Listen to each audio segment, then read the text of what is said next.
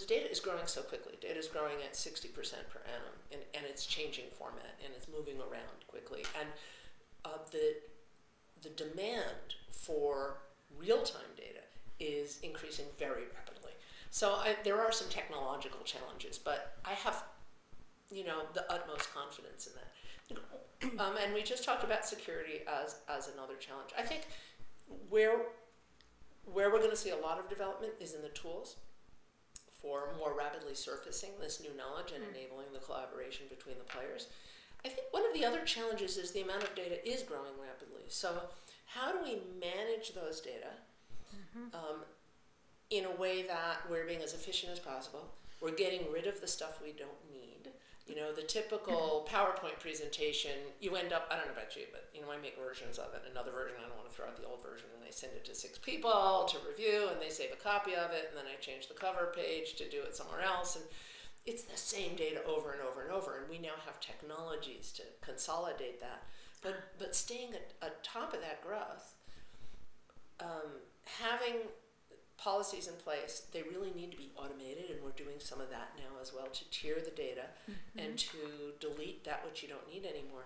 And that's where I think the really interesting problem comes because sometimes the greatest revelations from big data come from what's considered the noise. Mm. You know?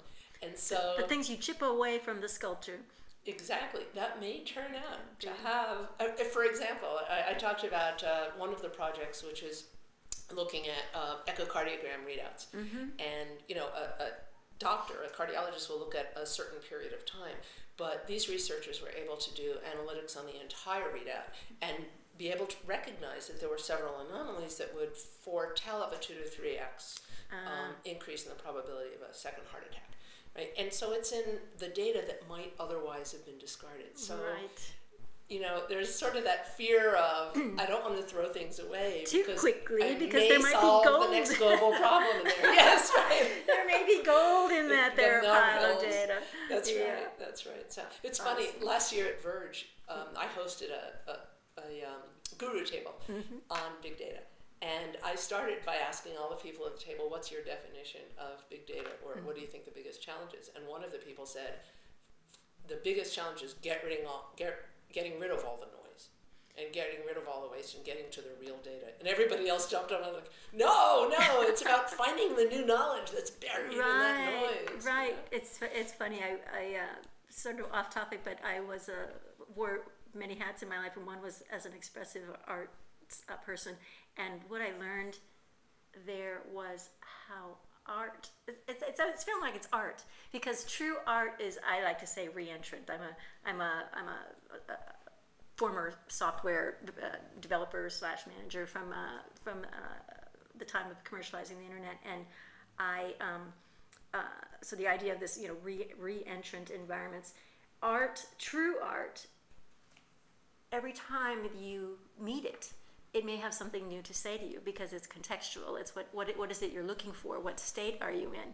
What, what, what, what does it have to give you now?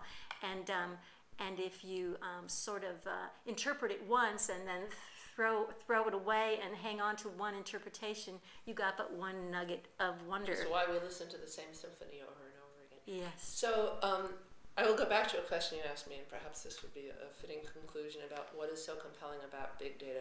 It's integrating both hemispheres of my brain. Yes. And bringing the right brain and left brain people together to solve problems. And I couldn't agree more. We need both. Awesome. Thank you, Catherine. I really enjoyed talking with you today. It's been my pleasure. Thank